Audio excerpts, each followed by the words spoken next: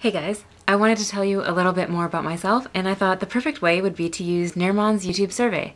I like the survey that he does every year, so I'm going to use it. Question 1. Why are you called that? My parents were planning on calling me Amanda until I was born, and then they were like, oh, she looks like Emma. Or something, I don't know. as far as my channel name, I had a couple ideas for different names that I wanted. My favorite one was taken, of course. So I could have spent more time thinking about it, but I had told myself that I was going to upload my first video on December 1st. I only had 20 minutes before midnight. I just typed this one in quick, it was available. I took it and I uploaded my first video. And then afterwards I was like, oh, I don't, I don't know if that's my favorite username, but whatever, I like it now. And um, I got my video uploaded on time. Question two, tell us about your favorite school teacher. My favorite school teacher was my third grade teacher. He was fun to have in class, but on top of that, he retired, bought a sailboat, and sailed around the world. So I thought that was really cool, and I loved how he just went on this great adventure after a lifetime of teaching. He would come back and tell us about places he had been now and then. So I always looked up to him and I wanted to go on adventures just like he did. Question three, what's the strangest food you've ever eaten? The strangest food that I've eaten is a bit of a toss-up. I had guinea pig when I was in Ecuador and pig brains when I was in China.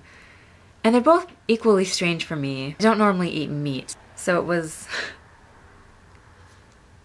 they tasted surprisingly good, but very strange. Question four, tell us about your first gig or concert. The first concert I ever went to was actually last year, and it was to see Bon Iver at the Red Rocks Amphitheater in Colorado. I cannot believe I haven't gone to more concerts. It was a lot of fun and I'm looking forward to going to more in the future. Although honestly, I'm probably going to spend more time at game conventions than concerts. Question five, what is your favorite place in the world? I think my favorite place in the world is Mauna Kea in Hawaii. It has a lot of my favorite things. It is a mountain, it had snow, and you can see so many stars up there. It's just really beautiful. I loved being up there. Question six, who do you want to answer this next? I would say probably Mika Kitty because I love watching her videos, but realistically, I don't know if she'll see this or, or be interested in doing the survey. And I'll add one more question. So question seven, why do you want to do YouTube videos? Because I always want to know this about the people that I'm watching. I go through all their old videos, and some people address it. For the most part, they just have these magical YouTube videos. Lately, some of the bigger YouTubers have had like midlife crisis type stuff.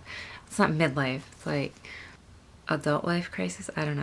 what do you call it if it's not midlife? They're not sure if they want to do YouTube anymore because it's stressful and and it's not fun anymore.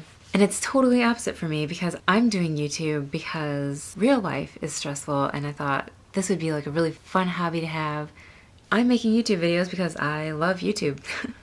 you have free rein. You can just be creative, you can put your opinions out there, you can put your thoughts out there, and people interact with you. And it's so great to have that kind of platform where you can get all this feedback from people that you would never meet otherwise. People from all over the world.